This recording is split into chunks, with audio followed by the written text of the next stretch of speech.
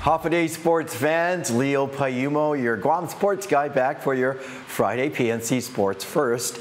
You know, 2K, 5Ks, they usually happen on Saturday mornings. Well, another one takes place tomorrow morning to kick off Autism Awareness Month.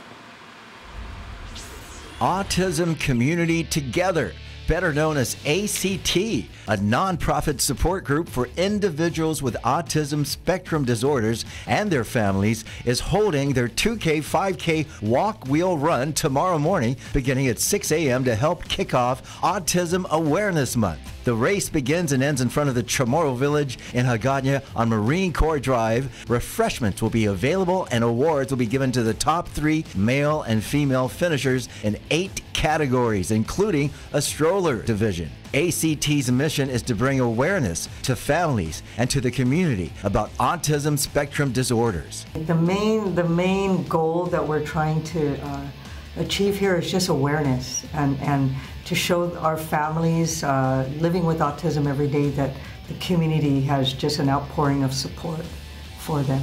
It's showing support that uh, of the awareness that there are so many, uh, and it's growing, uh, children on Guam living with autism. And with the community coming out, it, it's more than just a run. It's, it's a great show of support um, for what we go through every day. For more information, contact Vicki Cruz at 727 1463. ACT will also be holding their 12th annual Autism Awareness Fair next Saturday, April 6th from 10 a.m. to 2 p.m. at the Hagåtña Shopping Center.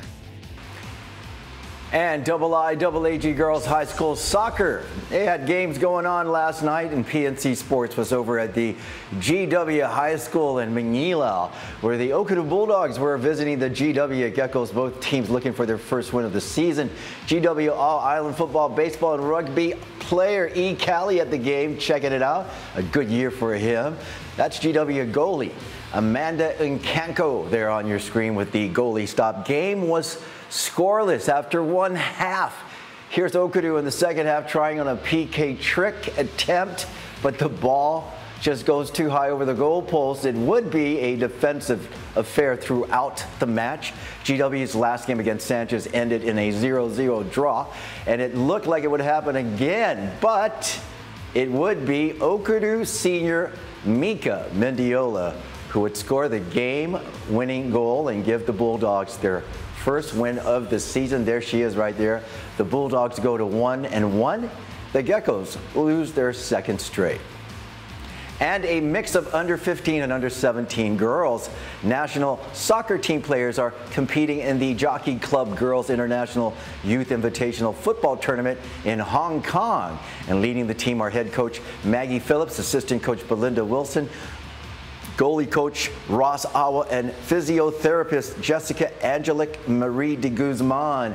Guam lost to Laos yesterday 6-0 and plays Northern Marianas next and then Hong Kong in their final match.